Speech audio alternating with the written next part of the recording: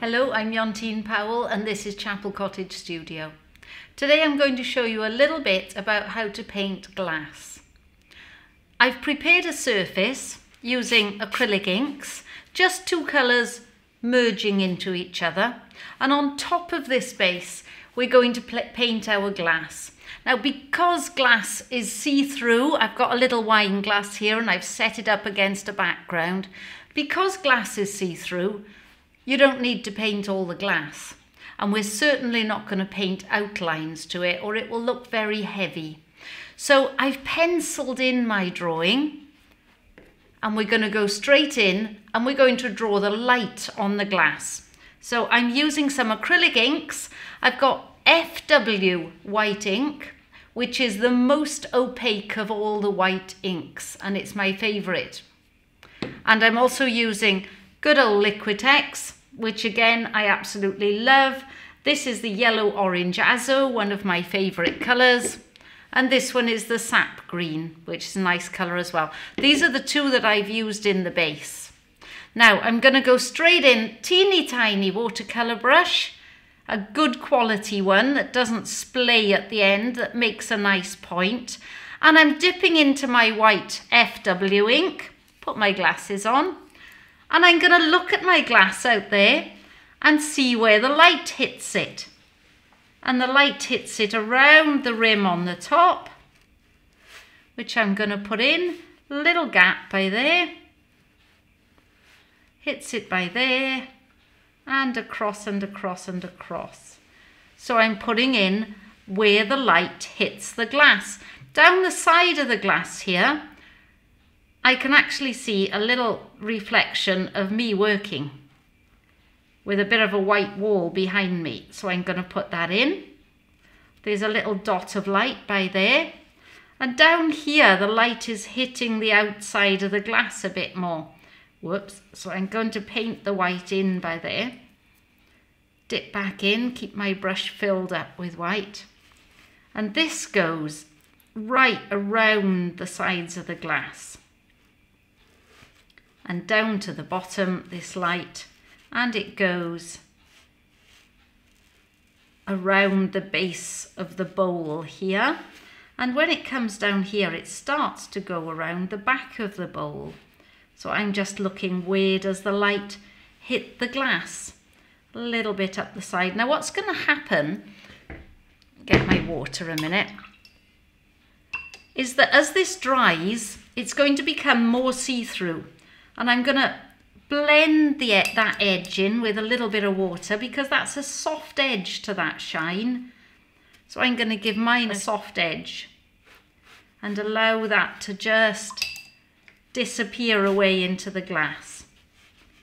There we are. Now back into the white and I can see some hits of light around the back here. Going to put them in, a little bit that goes up the side of the glass.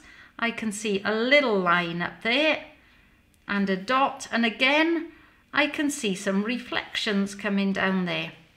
So I'm going to put them in, some lit reflections.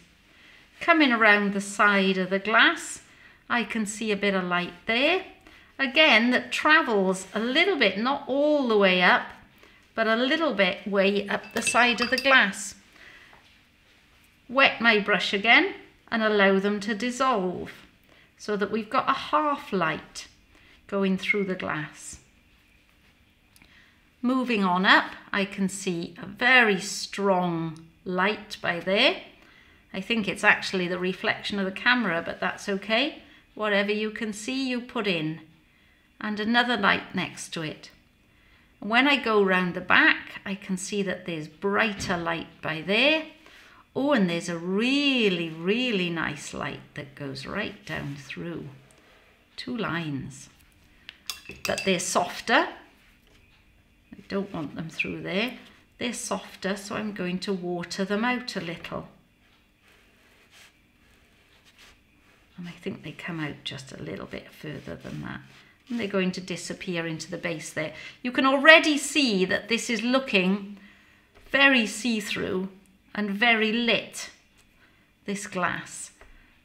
Gonna just strengthen up where the really light parts are. One by there. going to put another layer on it because it's extra white. Some around here because they're extra light. Now I'm going to work my way down here into the base of the glass. And there's little flecks of light going through the centre here. And I can see one by there and one by there. And I can see a little bit of a half light going around that side. So I'm going to dilute it and get that half light in. Moving around to the base, I can see a light around there. Two little reflections in there that I'm going to put in. Real bit of light on the back of it there. And coming around the side. And if I come around this side, there's a faint line back there. And a real sharp light at the front. And in here, I can see quite a lot going on. Quite a lot of reflections going on around the base of the glass. I'm going to pop them in. There's a couple by there. And it's just drawing what you see. There's nothing else to it. Where I can see a half light, I'm going to dilute it. Maybe make a little bit in my palette that's a little more, little bit more diluted. Half light round there. Be very careful, it's ever so tempting to put a half light everywhere because you really want to describe it. But make sure you only put it where you can see it. A half light around this side, round, whoops, my glass went a funny shape there, around the edge of the glass. And having put all the lights in, and going back to my background colour, my green mixed with a bit of yellow. And I'm going to find the darkest bits of the glass. And I can see a teeny dark stripe going around there. There's some definite dark in the base of the bowl here that I'm going to put in. And I can see, oh, there's a real dark stripe going around there and there's a dark stripe going around here which I'm going to paint in and a little bit I can even see just a hint of the other side I can see another dark line going around there and a little bit of dark on the base which I'm going to dilute down a little bit do it quickly because these acrylic inks don't take any prisoners once you've got your colour on there. Unless you get water around it really quickly, you'll get a line around it, which we don't want. So I can see a little bit of darker on the base. Fetch some of that out just a little bit. Teeny tiny bit of darker. Oh, I don't want to do too much. I can see a little bit in there. And let's put a, oh, hang on, I'm not finished, thought I had. Put another line round there. Add a bit of a line under there.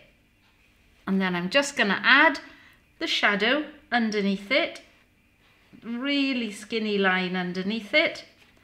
And I'm to just water a little bit of the shadow that I can see on the cloth just with water. It's going off over there somewhere and then I'm to put some of this into the water and let that shadow disappear off over there.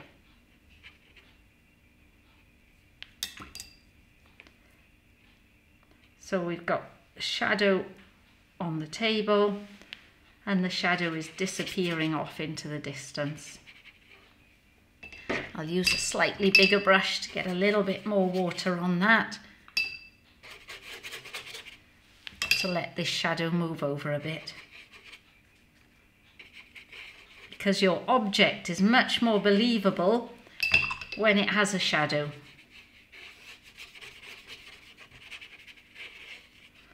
There we are. And it's as simple as that.